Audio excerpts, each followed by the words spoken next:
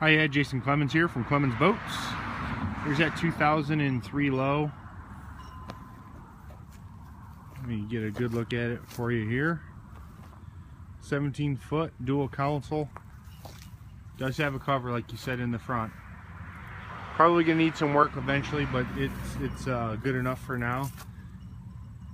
But it's obviously weathered, has a cover. It's been out for a long time. You can see the boat sat in the water for a while. Got a little scum line on it. The tires are 185 80 D13s. The tread on them's fairly good. I did some research on this engine for you. That is a Suzuki uh, with a Yamaha cowling. I thought it was uh, a different brand. From the research I did, it's actually a Suzuki four-stroke with a different cowling on it. So that's a Suzuki motor with a Johnson name on it. They never made their own four-strokes.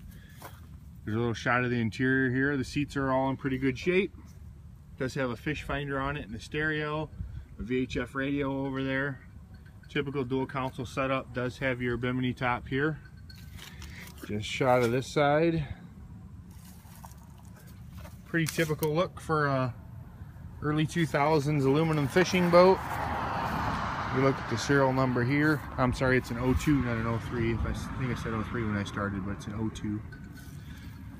But again, engine's basically a Suzuki with a Johnson cowling from all the research I've done and the calls that I made. Uh, from what I see, it looks like uh, the reports are it's a very good motor. There she is.